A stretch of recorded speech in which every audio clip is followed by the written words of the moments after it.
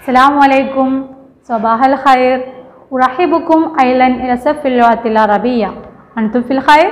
نعم ما شاء الله اليوم ندرس درسا جديدا اسم درسنا يوم سعيد നമ്മുടെ മൂന്നാമത്തെ യൂണിറ്റിലെ യൗമുൻ സായിദ് എന്ന മൂന്നാമത്തെ പാഠമാണ് ഇന്ന് എടുക്കുന്നത് യൗമുൻ സായിദ് മാന സന്തോഷകരമായ ദിനം ഇവിടെ കമ്പ്യൂട്ടറിൽ ഓപ്പൺ ആക്കി വെച്ചിട്ടുള്ള ഒരു ഇമെയിൽ പേജാണ് നമ്മളിവിടെ കാണുന്നത്. ഇമെയിൽ എന്താണെന്ന് എല്ലാവർക്കും അറിയാം അല്ലേ? എന്താ? ആ ഈ കാലഘട്ടത്തിൽ ഇന്റർനെറ്റ് മുഖേന കത്തുകൾ അയക്കാൻ ഉപയോഗിക്കുന്ന ഒരു സംവിധാനമാണ് ഇമെയിൽ നമുക്കൊരു ഇമെയിൽ ഐ ഡി ഉണ്ടെങ്കിൽ ഇമെയിൽ ഐ ഡി അല്ല നമ്മുടെ മറ്റ് ഫ്രണ്ട്സുകൾക്ക് നമുക്ക് ഇമെയിൽ അയക്കാം. അപ്പോൾ ഇവിടെ നമ്മുടെ കഥാപാത്രമായ ഷെഫീക്ക് അവന്റെ അധ്യാപകനെ കണ്ടതിന് ശേഷം അവന്റെ കൂട്ടുകാരൻക്ക് അയക്കാൻ വെച്ചിട്ടുള്ള ഒരു ഇമെയിലാണ് ഇവിടെ തന്നിട്ടുള്ളത്. അപ്പോൾ ഇതിൽ എന്താണ് ഇതിന്റെ ഫോം എന്ന് നമുക്ക് ആദ്യം നോക്കാം. ഫസ്റ്റ് കോളത്തിൽ മുസ്തലിമൂന എന്ന് കാണുന്നുണ്ട് അല്ലേ? മുസ്തലിമൂന എന്നത് അവിടെ കൊടുക്കേണ്ടത് ടു ആണ്. നമ്മൾ ആർക്കാണോ ഈ ഇമെയിൽ അയക്കുന്നത്? അവരുടെ ഇമെയിൽ ഐ ഡി ആണ് അവിടെ കൊടുക്കേണ്ടത്. ഇപ്പം നമ്മൾ പറഞ്ഞു ഇത് ഷെഫീഖ് അവന്റെ കൂട്ടുകാരൻക്ക് അയക്കുകയാണ്. അപ്പോൾ ആയതുകൊണ്ട് തന്നെ അവന്റെ കൂട്ടുകാരന്റെ ഇമെയിൽ ഐ ഡി ആണ് ഷെഫീഖ് അവിടെ കൊടുത്തിട്ടുള്ളത്. മുസ്തലിമൂന R V M at Gmail dot com ഇത് ഷെഫീഖിന്റെ കൂട്ടുകാരന്റെ ഇമെയിൽ ഐ ഡി ആണ്. അപ്പോൾ അവനക്ക് കൂട്ടുകാരനക്കാണ് ഇത് അയക്കുന്നത്. അതുകൊണ്ട് ഷെഫീഖ് അവന്റെ കൂട്ടുകാരന്റെ ഇമെയിൽ ഐ ഡി അവിടെ കൊടുത്തു. രണ്ടാമത്തെ കോളത്തിൽ മൗലോ മൗലോ മീൻസ് സബ്ജക്റ്റ് വിഷയം. നമ്മൾ എന്ത് കാര്യമാണോ ഈ ഇമെയിലിൽ പറയുന്നത് അതാണ് അവിടെ കൊടുക്കേണ്ടത്. അപ്പോൾ ഷെഫീഖ് അവന്റെ അധ്യാപകനെ കണ്ടതിന് ശേഷമാണ് ഈ ഇമെയിൽ അയക്കുന്നത്. അപ്പോൾ അധ്യാപകനുമായിട്ടുള്ള ആ കാര്യങ്ങളാണ് അവനിതിൽ പറയുന്നുള്ളത്. അതുകൊണ്ട് ഷെഫീഖ് അവിടെ എന്ത് കൊടുത്തു? സിയാറത്തുൽ മുദരീസ് അധ്യാപകനെ സന്ദർശിക്കൽ എന്നുള്ള സബ്ജക്റ്റ് കൊടുത്തു.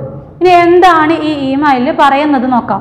സ്വദീഖിൽ ഹബീബ് ഡിയർ ഫ്രണ്ട്സ് പ്രിയപ്പെട്ട കൂട്ടുകാരാ ത്വഹിയത്തൻ ത്വയ്യബത്തൻ മുബാറക്കച്ചൻ വബാദ് ഇത് നമ്മുടെ എല്ലാ കത്തുകളിലും ഉപയോഗിക്കുന്ന ഒരു കോമൺ ആയ ലൈനാണ് കേട്ടോ നമസ്കാരം എന്നൊക്കെയാണ് ഇതിന്റെ ഉദ്ദേശിക്കുന്നത് ഇനി അതമന്ന അന്ന കഫി ഹൈരി വാഫിയ നിനക്ക് പരിപൂർണ സുഖമാണെന്ന് ഞാൻ കരുതുന്നു.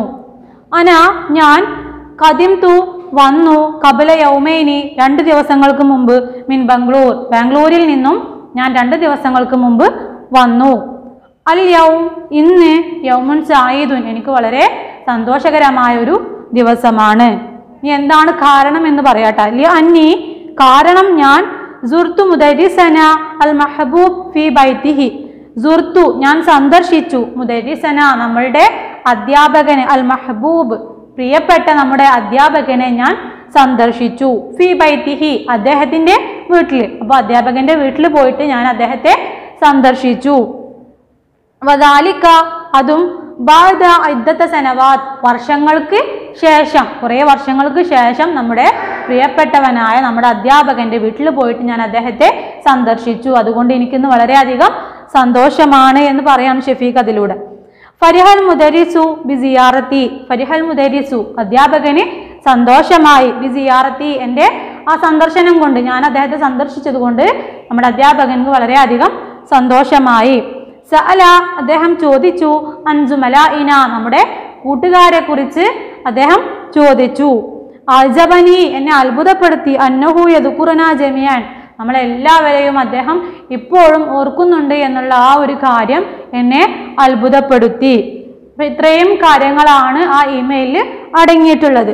ഇനി ലാസ്റ്റ് അതൂക്ക ഇലാ ബൈത്തി ഞാൻ നിന്നെ എന്റെ വീട്ടിലേക്ക് ക്ഷണിക്കുന്നു. വസ്സലാം. അസ്സാം വലൈക്കും എന്നിട്ട് സ്വദീഖുക്കൽ മുഹിബു ഷഫീഖ് ആരാണോ ആ ഇമെയിൽ അയക്കുന്നത്? അവരുടെ പേരാണ് അവിടെ കൊടുക്കേണ്ടത്. അപ്പോൾ ഷഫീഖ് ആണല്ലോ അയക്കുന്നത്. അതുകൊണ്ട് അവിടെ സ്വദീഖുക്കൽ മൊഹീബ് ഷഫീഖ് നിന്റെ പ്രിയപ്പെട്ട കൂട്ടുകാരൻ ഷഫീഖ് എന്നും അവിടെ കൊടുത്തിട്ടുണ്ട്. ഇങ്ങനെ ഒരു ഇമെയിൽ തയ്യാറാക്കി കഴിഞ്ഞാൽ ഇത് അയക്കാൻ നിന്റെ താഴെ ഒരു ഇർസാൽ എന്നുള്ള ഒരു ചെറിയൊരു ബോക്സിൽ കാണുന്നുണ്ട്. അതിൽ ക്ലിക്ക് ചെയ്താലാണ് ഈ ഇമെയിൽ അവർക്ക് എത്തുള്ളൂ. അപ്പോൾ ഇത്രയും കാര്യങ്ങളാണ് ഈ ഇമെയിലിൽ പറയുന്നത്. ഇപ്പോൾ ഇമെയിൽ ഇമെയിലിൽ എന്തൊക്കെയാണ് ഉൾക്കൊള്ളേണ്ടതെന്ന് പറഞ്ഞു അല്ലേ? മുസ്തലിമൂന എന്ന് പറഞ്ഞാൽ ടു ആർക്കാണോ നമ്മൾ ഇമെയിൽ അയക്കേണ്ടത് അവരുടെ ഇമെയിൽ ഐ ഡി കൊടുക്കണം ഫസ്റ്റ് പിന്നെ അതിന്റെ താഴെയുള്ള കോളത്തിൽ നമ്മൾ എന്തിനെ കുറിച്ചിട്ടാണോ ആ ഇതിൽ പറയുന്നത് അതിന്റെ ആ ഒരു സബ്ജക്റ്റ് അവിടെ കൊടുക്കണം. ലാസ്റ്റ് നമ്മുടെ പേരും അവിടെ വെക്കണം. ഇത്രയും കാര്യമാണ് നമ്മൾ ഇമെയിൽ അയക്കുമ്പോൾ ശ്രദ്ധിക്കേണ്ടത്. അപ്പോൾ ഇതിൽ നമുക്കൊരു വർക്ക് ഉണ്ട്. കറന റിസലത്ത് ഇലക്ട്രോണിയ നൊയ്ദുലഹ റദ്ദൻ. ഈ ഇലക്ട്രോണിക് ഈ ഇമെയിൽ വായിച്ചതിന് ശേഷം നമ്മൾ എന്ത് ചെയ്യണം? ഇതിനുള്ള മറുപടി തയ്യാറാക്കണം. അപ്പോൾ നിങ്ങളതൊന്ന് തയ്യാറാക്കി നോക്കുക. നമുക്കിനി അടുത്ത ക്ലാസ്സിൽ കാണാം. അസ്സാം വലൈക്കും